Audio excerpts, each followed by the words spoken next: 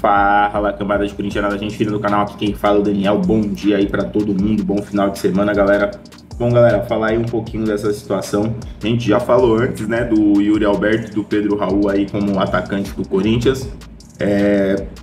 Pode sim pintar um novo ataque aí com os dois, mas o Wesley que tem feito bons, boas partidas e difícil de tirar.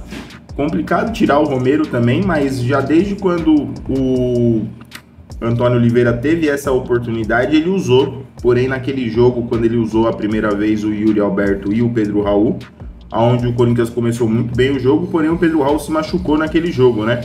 E aí depois a gente teve aí um tempo dele fora, aí ele voltou, entrou no segundo tempo no jogo do Paulista, quase ajudou a gente a se classificar, mas parece que vem bem, né, numa fase boa de artilheiro aí de atacante.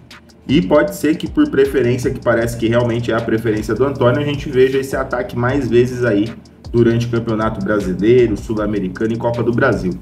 Tá aí na tela de vocês também a situação do Maicon, tentei apurar para ver se o Maicon tinha tido algum tipo de lesão séria. O Corinthians ainda não soltou nenhuma nota.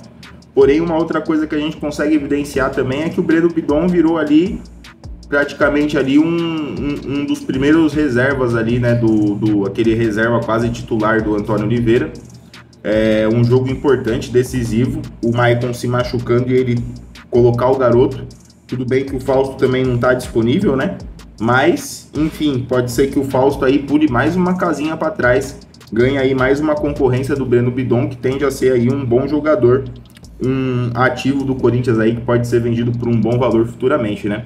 Então vamos aguardar para ver se tem alguma informação do Maicon, apesar que agora vai ter um tempo bom de recuperação, né? Até dia 3 ou 4. Essa semana a gente vai saber se vai ser dia 3 ou dia 4 de abril que o Corinthians estreia na Sul-Americana. Essa semana tem sorteio. Assim que sair eu vou trazer aqui no canal também, para a gente saber qual que vai ser esse primeiro adversário do Corinthians na Copa Sul-Americana campeonato importante aí para o Corinthians esse ano, que não vai disputar a Libertadores, né?